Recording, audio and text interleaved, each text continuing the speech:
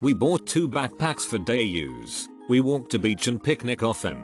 This one was far superior than other that we tried and learned it was almost $10 less. We would have paid more for this one. It stands up making it easy to use at Sandy Beach and has more room. Love the gravy black. Like the orange elastic to put a towel into. Superior backpack for great price. I have gone through numerous backpack coolers and there has always been issues. No issues to date with this one. Loaded up 16 12 ounces cans for ice coolers and carry it around with the loop on the back. No issues. No stretch or tears on the threads. Double zippers on the main bag and on the front with all zippers having a pull attached. The front pocket zippers allow you to open to left or right side without stuff falling out like with one zipper pockets. Trust me Fataya. TM. S must if you use a backpack. Front pocket also has a mesh and opposite that, another pocket inside. It did not sweat. Extra eye. This will get tons of use since it a year. TM.